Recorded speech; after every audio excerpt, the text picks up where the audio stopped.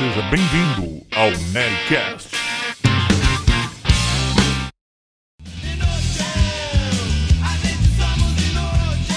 Fala galera, aqui é o guitarrista Rafael Neri e esse daqui é mais um episódio do Nerdcast e hoje eu recebo o ilustre Marcos Klein, que vocês devem conhecer como guitarrista do Traje a Rigor e do programa do Danilo Gentili. Fala aí, Klein. Beleza, prazer aqui, valeu, Neri, por ter me convidado. Prazer Isso, aí, prazer faz- é meu. Tá participando aí desse podcast extrovertido. Bom, Klein, o pessoal conhece você como guitarrista do Traje a Rigor, né, na maioria dos casos, né? É, Mas eu sei maioria- que... é bem, bem dito, na maioria dos casos. Mas assim, eu sei que a sua história com a música não começou quando você entrou no programa do Danilo Gentili. Já tem bastante tempo que você é guitarrista, professor de música e tal. sim, sim. E eu queria que você contasse um pouco do começo, né? Se eu não me engano, você chegou a tocar até no Viper, né? Um negócio assim. Então, eu fui o primeiro baterista do Viper. Cara abandonou a bateria depois do Viper, foi isso ou não? É, então, é uma história até engraçada, assim, porque eu era baterista de almofada, né? Eu lá, quando eu tinha 10 anos de idade, eu falei, não, meu, eu não tinha dinheiro pra comprar bateria, nem sonho, nem minha família. Uhum. Mas eu ficava batucando, era uma coisa meio instintiva, assim, né? E ficava batucando ali e tal. Aí eu fui, mudei pra um prédio que era do lado do prédio do, do, do pessoal do Viper e do André Matos também. Então, é, meio que eu vendo uns cabeludos passando na rua, era cabeludo também. Acabou que- rolou, né? Tipo, e aí, quem são vocês? Né? Aquela coisa meio conduza-me ao seu líder. Então, então, meu, a gente começou a trocar ideia. Eles viram que eu tocava um pouquinho, bateria. E, tipo, fui baterista do Viper muito pouco, assim, pra falar a verdade. Virou uma lenda, né? Mas é legal, porque eu realmente fui. E o Cássio Aldi, que me sucedeu, que gravou o primeiro disco do Soldiers of Sunrise, chegou pra mim e falou assim: Meu, essa banda aí é uma merda, sai. Aí eu saí e ele entrou uma semana depois. Sacanagem, hein? O cara... Não, é, mas é aquela coisa, não é lenda urbana, né? É verdade, né? Ah, Mas tá. acabou sendo bom pra mim, porque eu tomei outro caminho, né? Mas aí eu tive uma banda, isso é muito curioso, pouca, pouca gente sabe. Eu tive uma banda tocando bateria, eu, André Matos e Ives Passarel. Ah, é? Chamava Netuno. E a gente eh, tinha, tocava três músicas: Hunt to the Hills, eh, Eva e uma música própria lá que eu não lembro o nome. Hunt to the Hills pra Eva, né? Tem uma consistência. Não, total coerência, né? Tipo, em repertório. E também, assim, eu não sei como a gente chegou a essa conclusão que essas duas músicas dariam certo. Mas é uma curiosidade da época, assim, né? Que passa Então- na minha cabeça como um imitador convicto do André Matos é o André Matos cantando Eva. Não, ele gosta dessa música, viu? Ah, pode é? não falar por aí que não sabe de nada, mas ele gosta dessa música. Tocava no piano direitinho. Ah, Mas, assim, aí, depois dessa experiência, o Felipe Machado, um dia eu tava conversando com ele, falou: pega a guitarra aí e tal. Eu peguei a guitarra. Foi aquela coisa, né?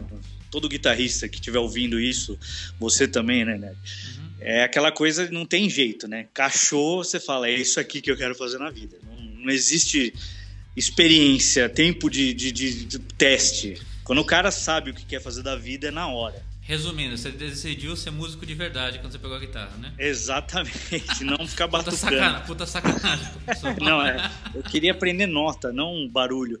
É brincadeira. Amamos bateristas fortes, suados e sarados. E o que seria do nosso ritmo sem eles? Topa, tutupa.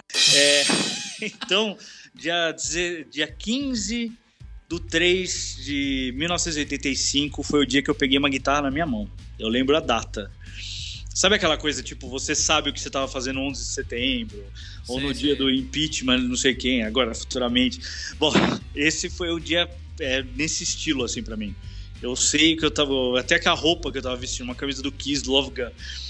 Então foi um- uma coisa assim, arrebatadora, assim. Eu falei, meu, é isso que eu quero fazer. E, e aí eu fui entregar pizza para comprar guitarra junto com o Pete Passarel, o Ives Passarel e André Matos. Pra Eles gente entregavam pizzas também? a gente entregou pizza no bairro que a gente morava, pra, porque ninguém queria dar. né, a família não queria dar dinheiro na época, porque é, ser cabeludo e querer tocar um instrumento era sinônimo de ser drogado. E a gente mal, é, sei lá, comia é, sonho da, da padaria porque falava que dava câncer. Então. então, assim, a gente teve que correr atrás, velho. E foi legal pra caralho, velho. Essas conquistas que você tem uma maneira assim, seu, pelo seu próprio esforço, são as mais legais, assim, né? Então a gente ficou lá, eu fiquei, eu fiquei mais tempo entregando pizza, né? Uns oito meses, todo final de semana, e consegui comprar minha primeira guitarra, e aí a história foi continuando. Não sei se eu continuo ou se você interfere. Bom, aí então foi o começo do que a gente tem hoje no Brasil, né? O Metal Geração Saúde, né? Galera ah, toda ah, trabalhadora. Uhum. é verdade. Mas aí você começou então, você fez faculdade de música logo em seguida ou você demorou um pouco para entrar? Como que foi? Não, eu sou autodidata, né? É, eu aprendi sozinho. Onde que eu vi que você tinha estudado na FAAM? Não sei por que eu tive essa ideia, cara. Cara, nunca estudei nem perto disso, assim. Eu não, eu não tinha condições na época financeiras. Eu tive aula com. Eu, eu acho que era o nome dele era Kazé, ex-guitarrista do Excalibur que ele me deu umas aulas assim, mas ele sabia que eu era fã do Randy Rhodes, aí ele queria me passar uns solos, mas eu não sabia nem o que, que era solo na época, né? Uhum. Então eu resolvi andar pelas próprias pernas. Para não falar que eu não tive aula, eu tive aula com um cara chamado Otton, quando eu tinha 17 anos. Que esse cara sumiu, nunca mais vi. Ele tocava jazz absurdamente. Ele corrigiu minha postura, é, o jeito de pegar na palheta, sabe aquela regulagem que você faz no, no, seu organismo, assim. E minha mão começou a, porra, voar. Porque eu não melhorava, não melhorava, não melhorava. Aí ele acertou esses detalhes. Tive dois meses de aula com ele, porque eu não tinha dinheiro para pagar também. Eu só tinha dinheiro para dois meses. E acertou e eu fui estudando sozinho. Sempre fui autodidata.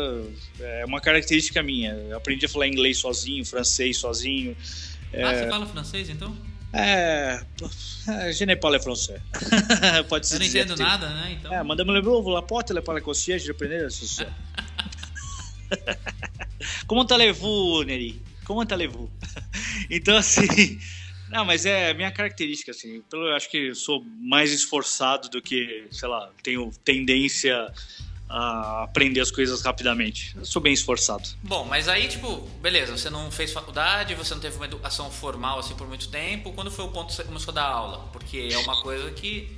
É, então, eu comecei a dar aula com 18 anos, né? Eu, depois que esse cara me acertou, assim, e eu, como sou muito observador e eu, e eu penso de maneira muito lógica, né?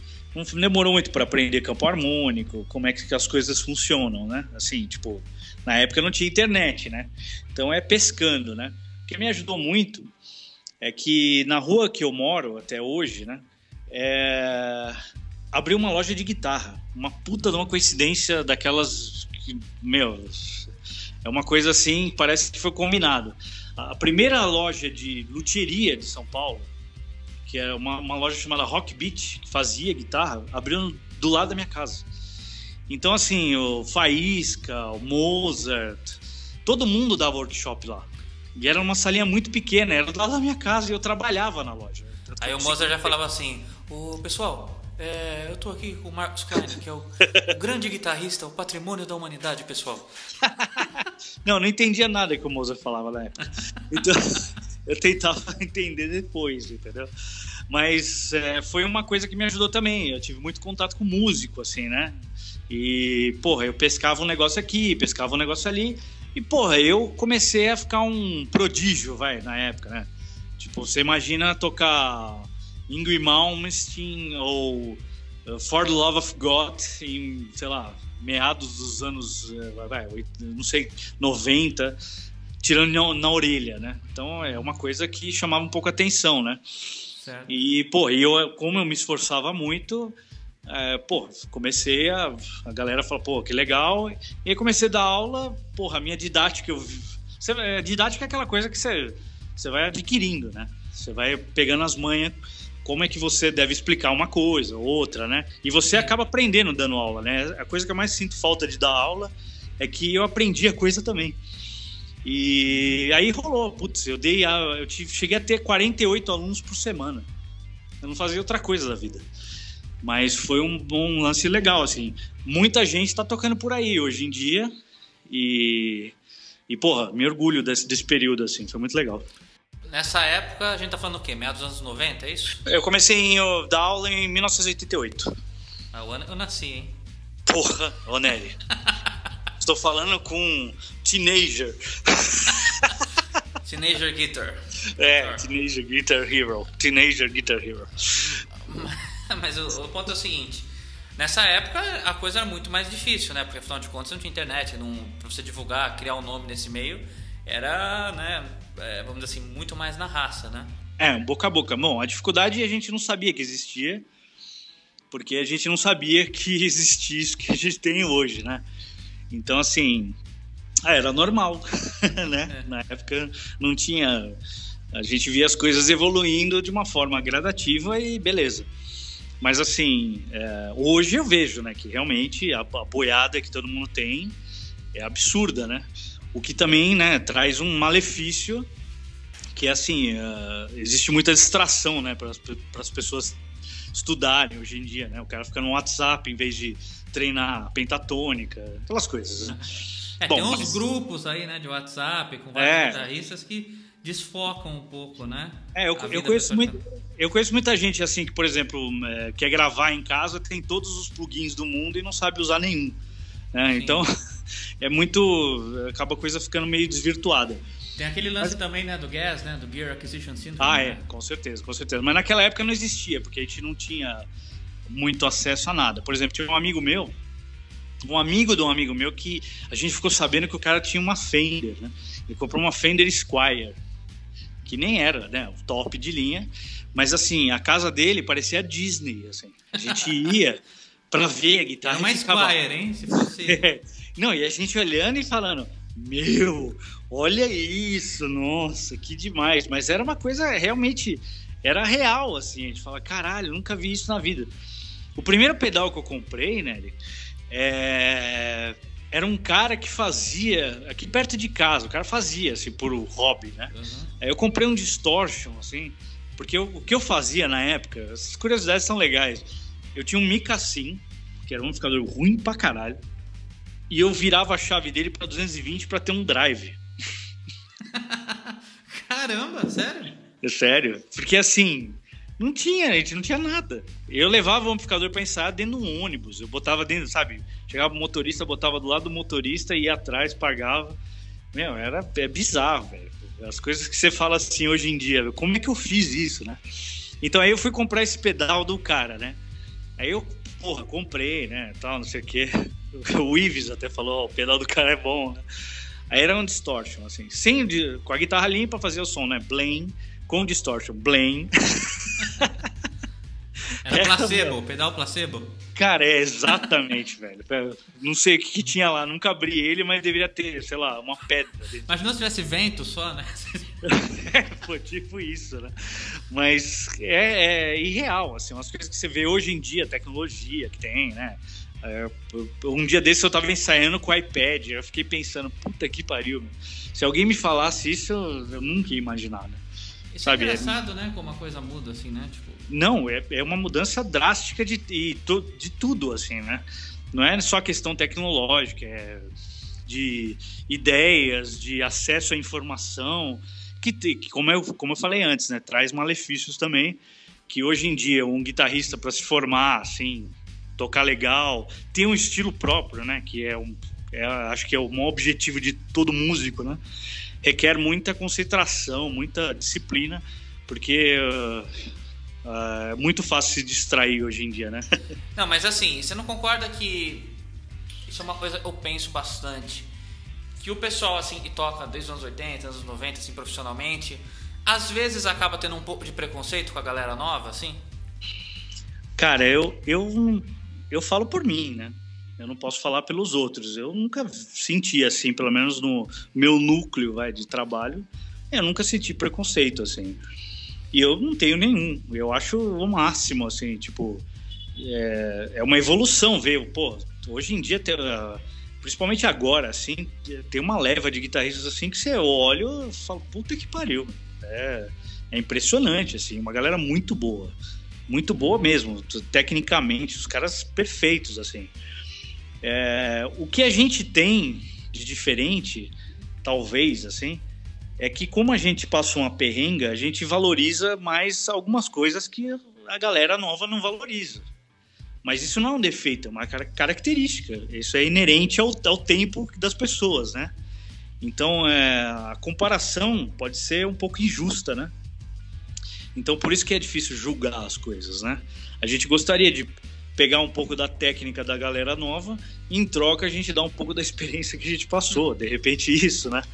Mas, Mas eu digo assim, uh, uma coisa que eu vejo muito, às vezes a galera uh, reclama, assim, ah, o cara só toca no YouTube, o cara é guitarrista de quartinho tal, e, e de fato a, a, inclusão digital ela vai trazer é, muita gente que não está preparada para estar tá se expondo ali, isso é natural em qualquer área, né? Vamos dizer assim. Lógico, lógico. Uhum. Mas assim, eu tenho medo de as pessoas cometerem uma espécie de miopia e não enxergar que existem ferramentas novas tão boas que eles poderiam estar aproveitando e às vezes não estão aproveitando para as próprias carreiras por uma questão mais de preconceito com a galera nova que está aí, entendeu? Isso. Não, não, sim, sim, eu concordo. É, mas assim, como existe uma nova tecnologia, uma nova tendência, é normal assim é, o, as pessoas as pessoas ruins terem acesso às mesmas coisas que as pessoas muito boas. E então assim cabe às pessoas que têm julgamento verem quem é que realmente está fazendo a coisa com coração e quem está querendo aparecer. Isso isso faz parte assim mesmo sem internet a gente sabe né? Por exemplo é, quando o pagode explodiu é, e todo mundo queria fazer pagode, porque parecia que ia dar dinheiro. Mas as pessoas sabem, assim, no inconsciente, assim, quem está fazendo porque acredita naquilo e quem não está fazendo. É a mesma coisa disso que você falou, assim. Tem gente que fala, ah, guitarrista de quartinho, não sei o quê. É, meu, tem gente muito séria. As pessoas acabam sabendo quem é. é então, quem o Gunter Govan é guitarrista de quartinho, se for seguir esse raciocínio. Não, ele é um gênio. Ele é um gênio. Mas, assim, o cara é cultuado. É, ele tem o público dele. Então, assim, acho que as pessoas têm que conquistar o público que elas querem, assim, o que vai fazer bem para elas. Não interessa, assim, você não precisa tocar com... É, to, é, tocar no... Ah, vai, eu vou jogar uma sardinha para lá. Abrir pro Rolling Stones para você falar que teve uma, uma carreira boa, ou tocar no traje.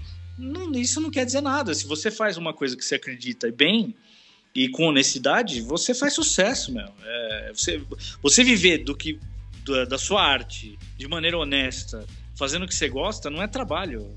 Né? Eu costumo dizer assim que eu, eu não ganho para fazer o show, eu ganho para viajar, carregar peso e etc. O show eu faço de graça, de tanto que eu gosto. Então é isso, assim, é, no, nesse, no meio, assim, como hoje em dia democratizou muito as coisas, é, vão ter os oportunistas e vão ter os caras bons, realmente. E as pessoas vão saber reconhecer isso, né? As críticas, meu, é, é normal, bicho. Eu, todo dia, eu acordo e ouço que eu sou o melhor guitarrista do mundo, pior, que eu sou um bosta, que eu sou demais, que me amo, que me odeio. É normal, cara. É... A internet, querendo ou não, democratizou as coisas de uma maneira tal que também democratizou, assim, globalizou os idiotas, né? Então a gente tem que conviver com as críticas também, que são hoje muito mais contundentes que eram na minha época. Mas então, é, voltando aí para a guitarra. Uh, você falou das aulas, tudo, né? Que você já dava. E quando que você começou a tocar com bandas de mais destaque? Assim, quando que rolou o lance do, do traje a rigor? Não, então, assim, eu tive um longo caminho. Em 1988 eu montei o Exhort, que era uma banda de heavy metal que teve uma boa um, um bom destaque Como na é época. Nome? De novo, é meio difícil Exhort. Parece envie suas encomendas pelo Exhort. não, é, é, meio. Hoje em dia parece. Mas na época era meio. Nossa, a gente parecia bem mal, viu? Então.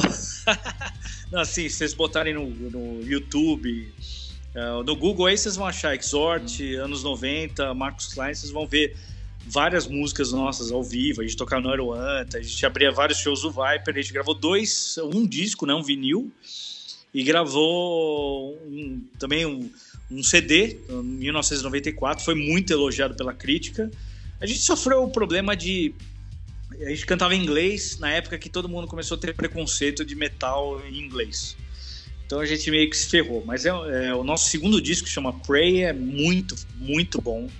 É uma puta de uma produção. A gente costuma dizer que o Sepultura não foi a primeira banda a usar percussão, instrumentos exóticos no heavy metal, foi a gente.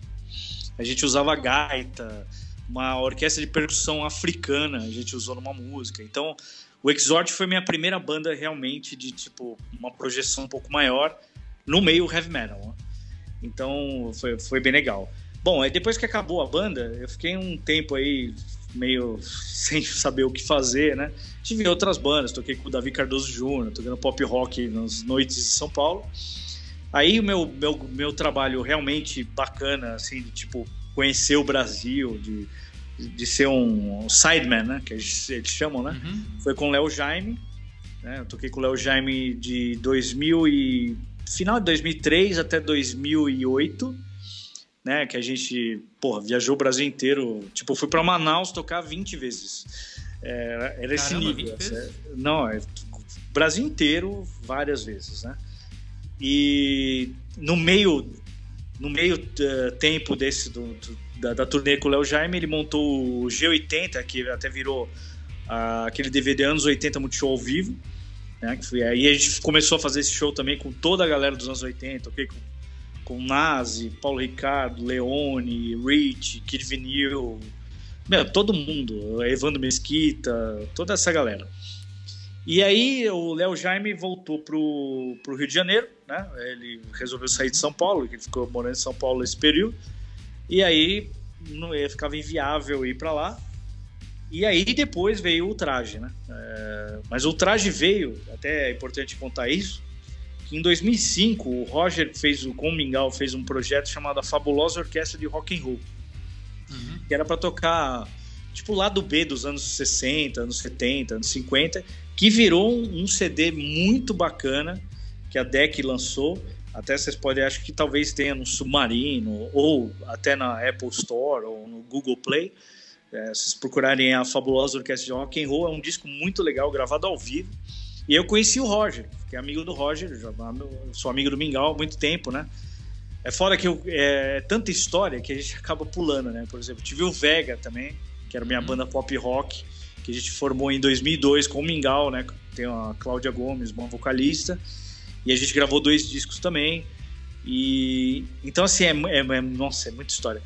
E, e aí eu conheci o Roger, fiquei amigo dele, a gente sempre se falou. Aí quando surgiu a oportunidade do traje, é, que foi em foi em abril, faz, faz uma semana que eu tô há sete anos no traje.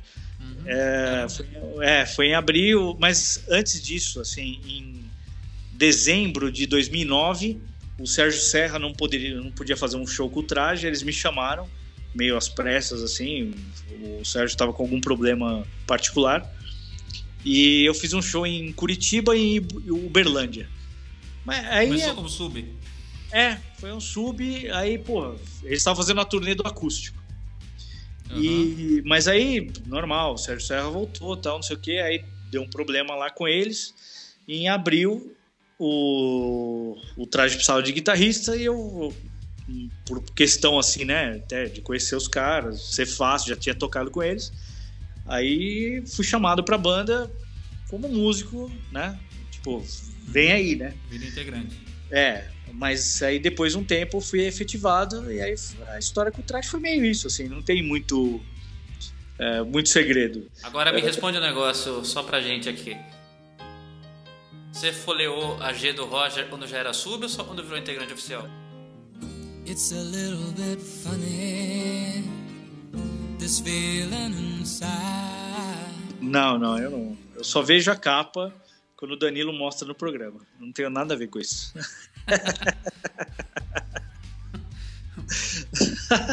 você também aqui perguntinha, bicho.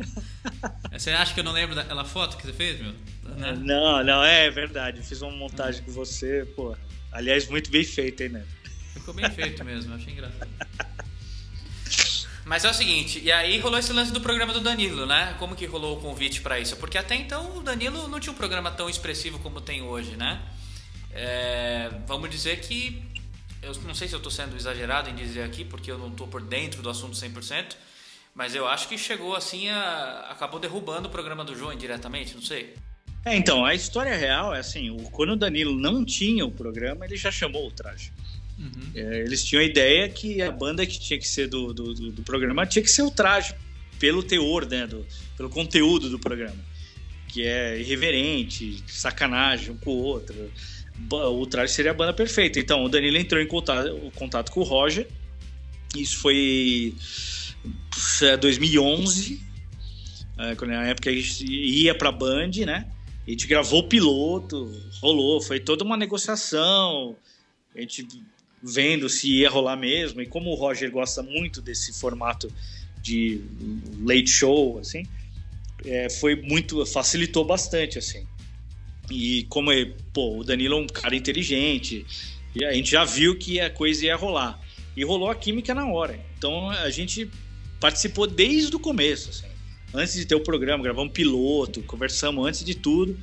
E a coisa foi andando. Aí a gente, quando a gente viu, a gente tá na TV, um programa na Band, era de terça a, a quinta, né? Uhum. Não, é, não, a gente começou de é, terça e quinta, aí foi para terça a sexta. Aí depois de dois anos de Band, a gente recebeu uma proposta do SBT para ser o programa diário e estamos aí no ar até hoje, completando quatro anos e vai fazer quatro anos e meio já. Mas assim, como vocês fazem para conciliar? Porque eu acredito que quando começou a rolar o programa, o traje ficou mais em evidência, né?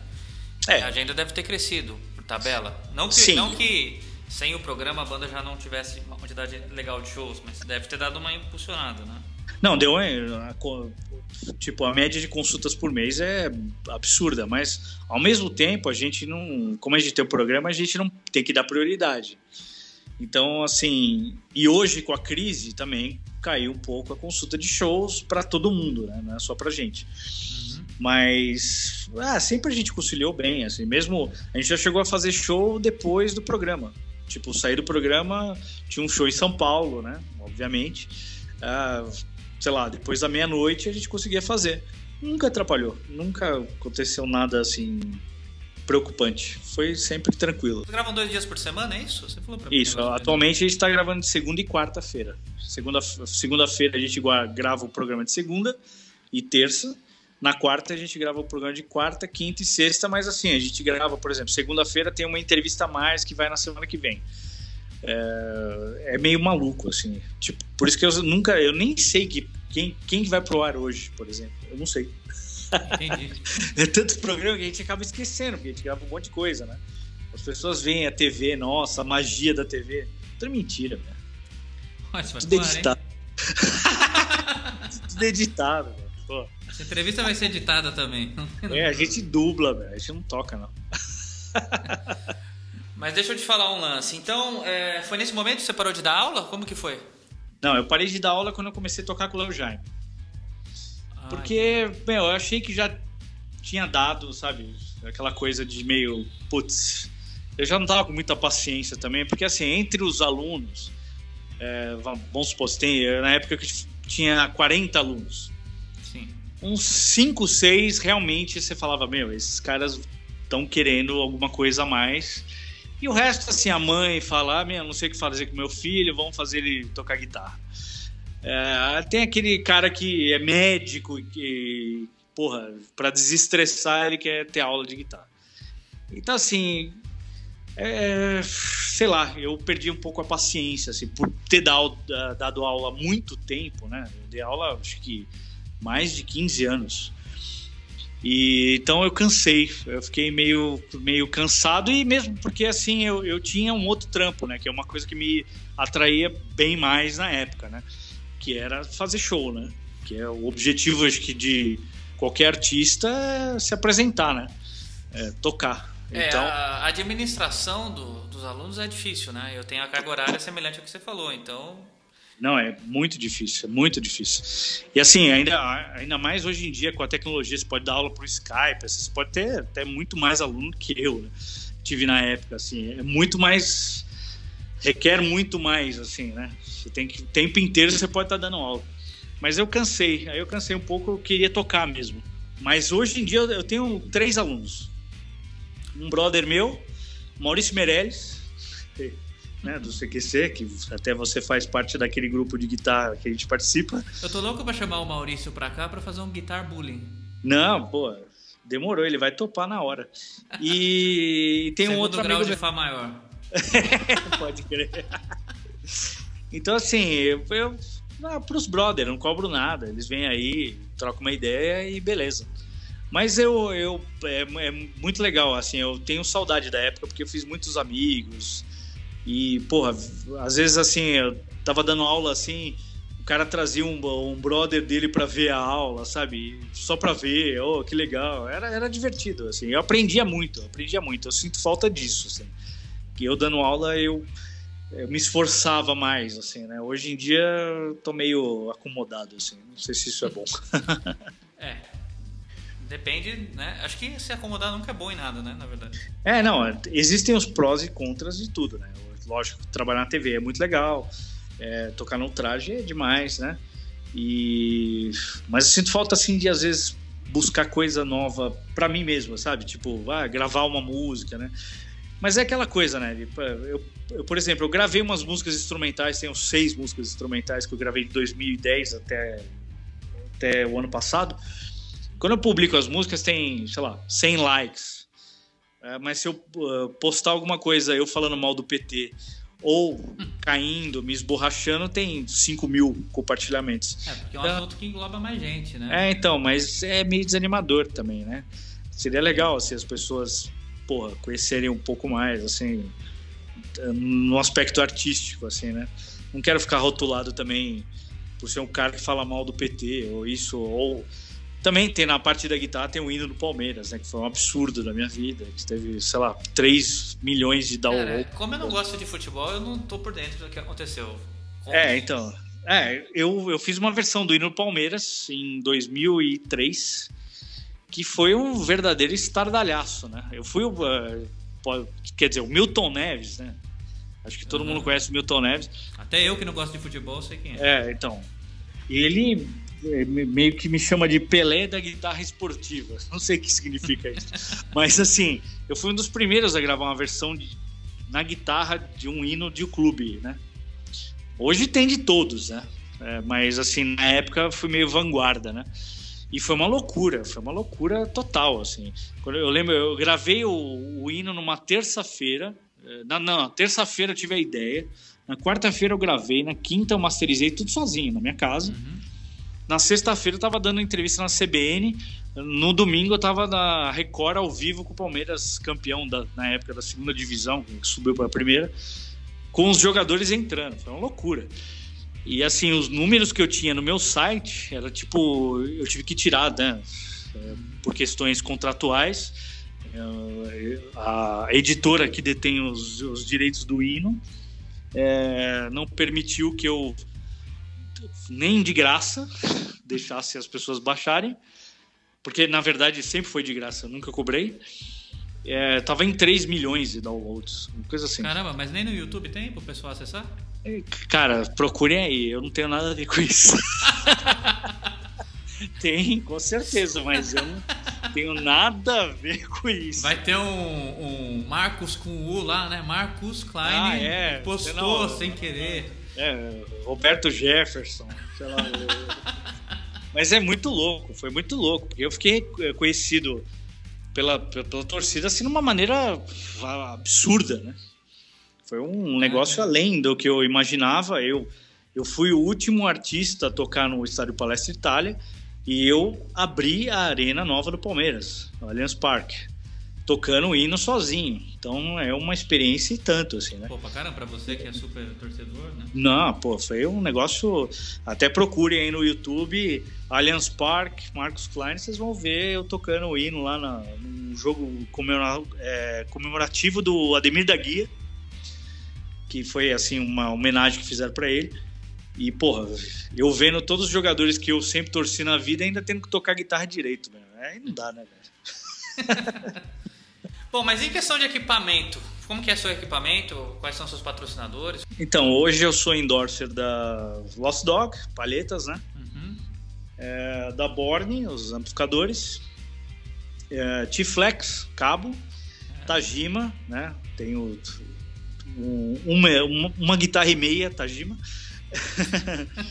e acho que é isso. É, não sei se eu esqueci alguém. Se eu esqueci alguém, eu tô fudido. Mas basicamente é isso, assim. Mas eu uso ao vivo, eu tenho um Mesa Bug, um Roadster.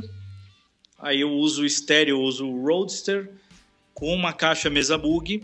É, o, o mesa bug ligado numa caixa Carvin, Uhum. angulada, aquelas anguladas, né? Toda diferente. E um Borne, então eu uso estéreo, né? Um paredão bacana.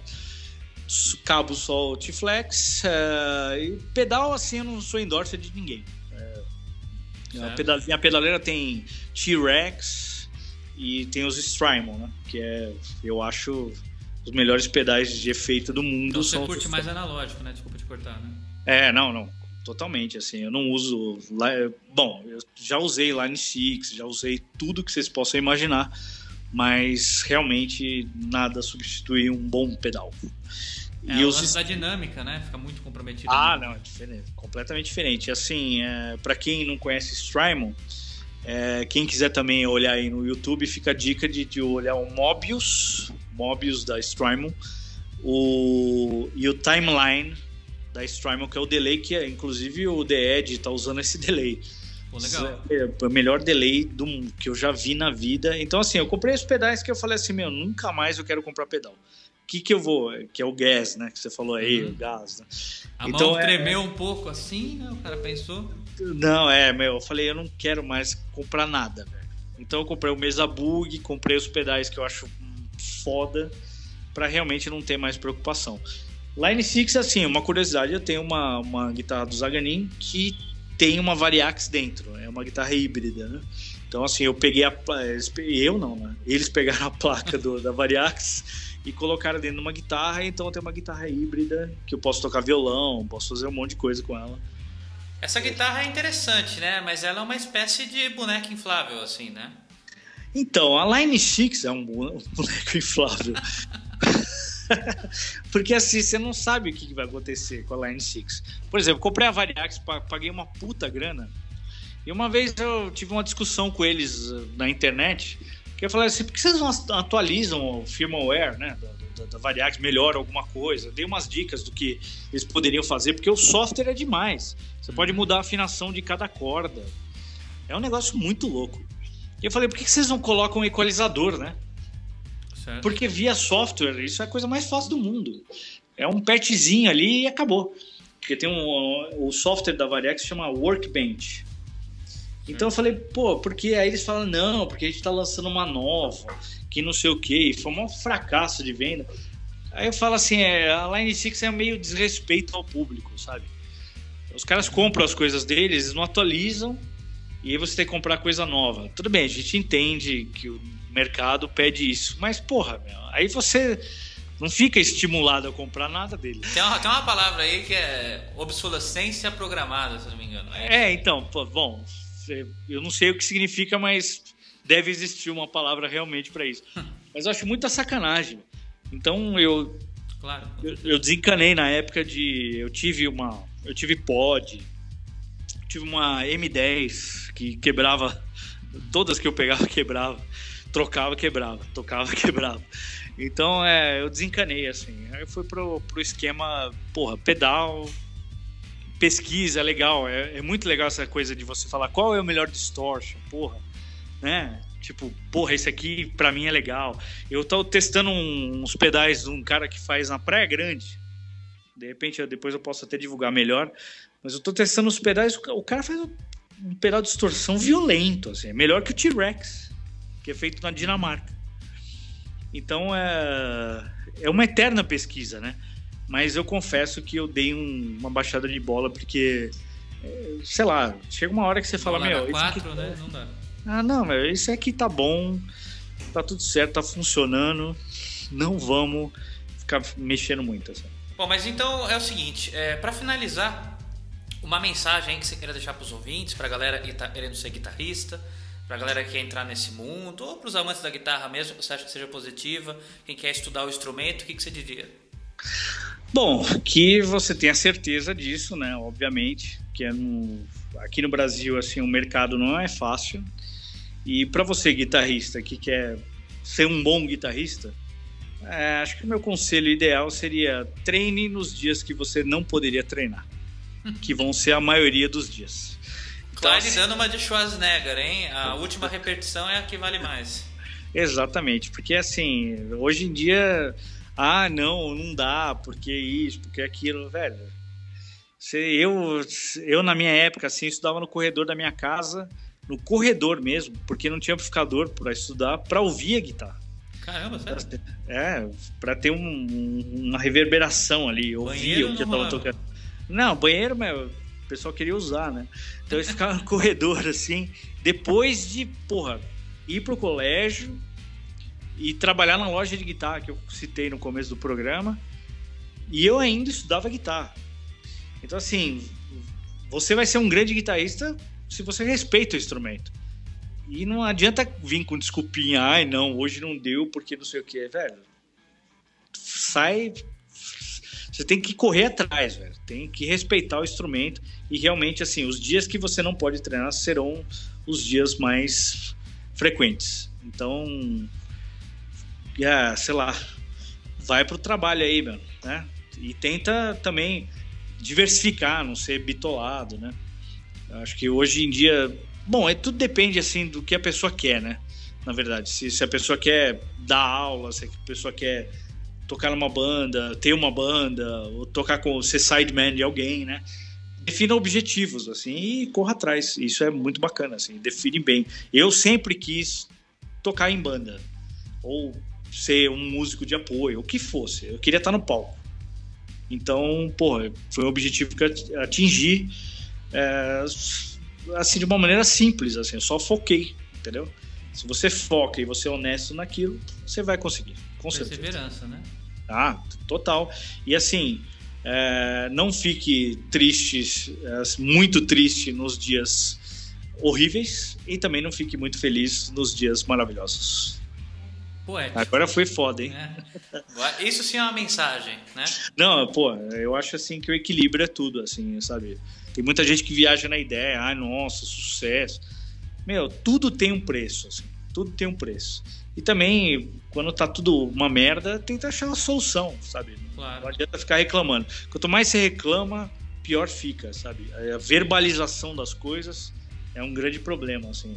Quanto mais você fala, ah, porra, tá foda, tá foda, tá foda nada, velho. Tá foda. Tem sempre alguém pior que você e sempre alguém melhor que você. Meu, corre atrás, bicho. Não adianta ficar reclamando e também não se vangloriando muito, assim. Chega de selfie. Hashtag. Hashtag Klein Poeta. Não, não. Hashtag selfie de cu é rola. Bom, e com essa mensagem bonita a gente finaliza aqui o Nericast número 4. Não, legal, né? Porra. Aliás, tem que falar assim, admiro você como guitarrista, como pessoa, cara bacana. Obrigado. É, tá sempre aí, meu, correndo atrás. Você tem meu respeito. Você aí dessa galera aí, porra, você sobressai pra caralho. Obrigado, valeu mesmo, Cláudio. Fico muito Pô, imagina, cara. São, são os meus olhos.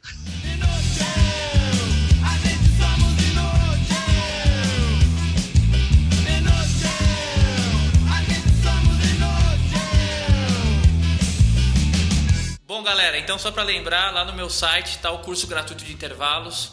Só se inscrever no www.rafaelneri.com. Colocando seu e-mail lá, você vai receber as aulas. Vale muito a pena fazer o curso. A gente está tendo um feedback muito legal nessas semanas aí, ele já está online. E uh, não se esqueça de assinar o podcast aí no seu agregador de podcast para continuar recebendo novos episódios.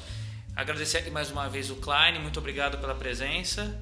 E... Pô, imagina, foi um prazer. E, porra, vamos divulgar esse podcast aí que é muito bacana. E, galera, fica esperto aí, meu. Vamos vir coisa boa. Então, valeu, galera. Um grande abraço e até mais.